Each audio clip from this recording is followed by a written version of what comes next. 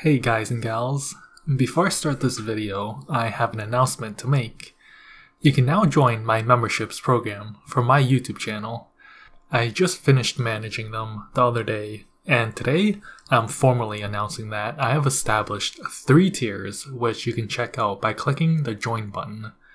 I won't go through them in this video, but let me know if you have any questions about them. And as always, uh, please like this video before we start.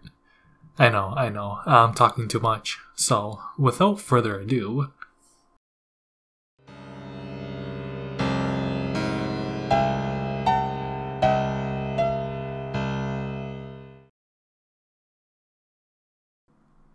This is not my story, but rather my aunt's story. I'm very close with my cousin, and as a single child, I feel like he is my brother. As a kid, I would always be dropped off at my cousin's house when my parents couldn't find someone to babysit. That was also true with my cousin. With that being said, I felt like my cousin's mom, or my aunt, is my second mom. She worked as a caretaker and absolutely adores her family. I guess what I'm trying to say is that she would not make anything up or joke about something that is serious with me or my cousin. Well, this is her story.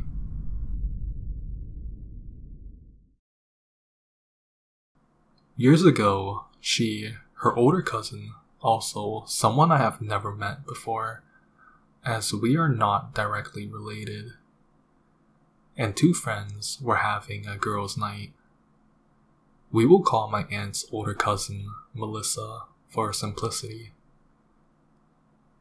It was just a normal night as they began drinking, watching movies, and just in general chatting. They were all in the living room, sitting on the couch with a table in front of them. After hours of spending time together and about to crash for the night, one of her friends leaves the living room and comes back minutes later with a Ouija board. These are boards that can supposedly communicate with the deceased and the afterlife. Anyways, they start playing around with it, not knowing exactly how to use it, and simply just asking random questions such as Will I marry someone handsome and rich? Or Does someone have a crush on me? That was when the friend who brought the Ouija board begins asking more serious questions about demons and ghouls. This goes on for a while until the other friend gets scared and tells her to stop. Fortunately, she does. After the whole Ouija board scare, none of them could sleep, even though they were pretty tipsy. So instead, they decide to watch some kind of rom com movie and forget about the whole thing. Then, apparently, one of her friends dropped a plate on the floor. When she bent down to pick it up, she turned pale and faced Melissa. The rest of them looked at the friend and asked her what happened. She trembled and replied, There, there are legs uh, under the table. All of them bent down and looked underneath it, and all swore they could see a pair of legs there. I know what you're thinking. They're all drunk or tipsy. They were probably just imagining the legs. But it doesn't just end there. They all looked at each other, not exactly knowing what to do. They began talking about it and eventually decided that it was just their imagination. There was no way there could be a person or thing underneath the table during the whole time they were there. It was probably just jeans left underneath the table and thought to be legs. After a while, Melissa gets up from the couch and excuses herself to the washroom. She leaves for about 15 minutes when, all of a sudden, the girls in the living room hear the deep man's muffled voice in the direction of the bathroom, followed by Melissa's horrifying scream.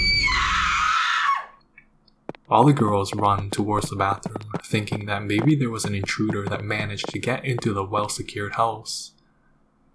When they all got there, they see Melissa lying on the bathroom ground, crying her eyes out. This story happened a very long time ago, but since that night, my aunt claims that her older cousin, Melissa, has mentally and spiritually left this world. What she means is that Melissa has never been the same since. Her happy go lucky attitude has been replaced by a hollow core. She would zone out occasionally and speak to herself. She would find mundane and ordinary things extraordinary. At first, I was hesitant to believe her story, thinking that she could trick me since I was so young when she told me. But I have spoken to my cousin about that story, and he admits that it's true. One time, one of the friends had visited my aunt while my cousin was there. The friend and my cousin ended up talking for a bit while my aunt stepped outside. During the conversation, the topic of supernatural and surreal things was brought into it. And my cousin, being a smartass, casually mentioned the story. My aunt's friend without hesitation, backed it up. Another time, my cousin had to go to a family celebration, and he had the opportunity to meet Melissa. One of his cousins from the other side of the family was getting married, and they were getting together to celebrate and catch up with each other. According to my cousin, Melissa sat in the corner of the kitchen, not looking at anyone. She held something in her hands as if it was the most amazing thing in the whole world, but my cousin couldn't find out what it was. She was very thin and looked like she wasn't really there.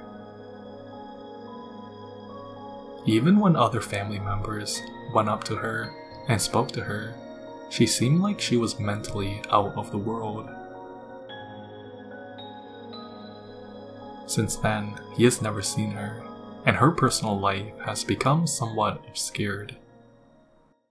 My aunt wouldn't say anything more about the story and would just say there's nothing left to say because she said it all.